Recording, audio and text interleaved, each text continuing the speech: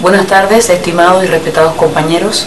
Le habla la profesora Yadira Pino, secretaria general de la Asociación de Educadores Veragüenses. El nivel al que ha llegado en estos momentos la huelga que inició el 30 de julio, una huelga que fue calificada de un principio como fracaso, primero logra la derogatoria de un decreto, primera vez en la historia que ocurre esto a nivel del movimiento magisterial.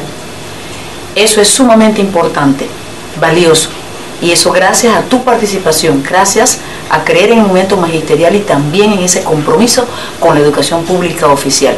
Pero más allá, mucho más allá de eso, el nivel al que se ha llegado en que los docentes han entendido, han comprendido el hecho de que la permanencia y la estabilidad no es negociable ni nadie nos las puede quitar.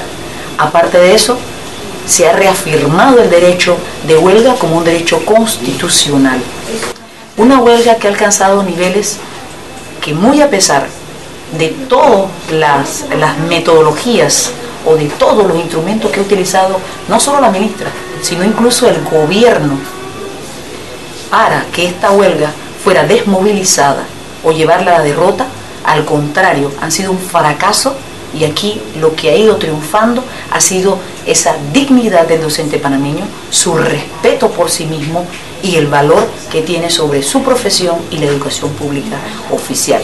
De manera, compañero, que podemos decir que en estos momentos ha sido una huelga histórica, una huelga que en lugar de ir bajando de nivel ha ido subiendo.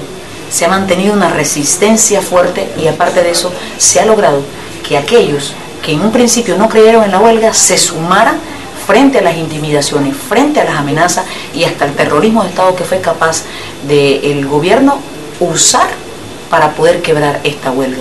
De manera, compañero, que usted debe sentirse orgulloso, orgulloso del logro de esta huelga. No solo la derogatoria del decreto 920, sino el reconocimiento del derecho de huelga y más allá, más allá la propia dignidad. Nadie puede seguir insultando o usando epítetos o llamando mediocres a los docentes de este país. Usted, con su participación en la huelga, ha logrado que el movimiento magisterial vuelva a ser respetado como parte del movimiento popular, como parte de un sector que ha asegurado la democracia en este país. Por esa razón, nuestras felicitaciones, compañeros, y nuestro respeto. Compañeros, el gobierno ha ido cediendo en la medida en que la propia opinión pública ya ha reconocido la legitimidad de la lucha magisterial, reconociendo que es un derecho la huelga y que no debemos ser castigados por lo mismo.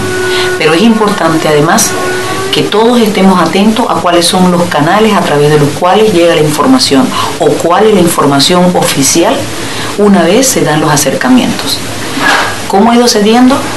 Ante toda la situación que ha llevado esta huelga, que incluso el movimiento popular se ha manifestado en las calles apoyando esta huelga, entonces hemos llegado a un momento de acercamiento entre ambas partes.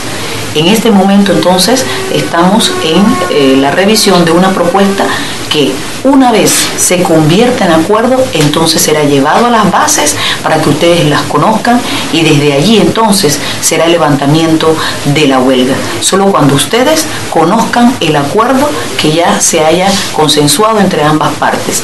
Esos son los canales, compañeros, para que evitemos confusiones o cualquier tipo de situación que realmente pueda complicar la huelga que hasta ahora hasta ahora ha tenido un alto nivel, un perfil donde la sociedad ha reconocido la lucha de los docentes panameños.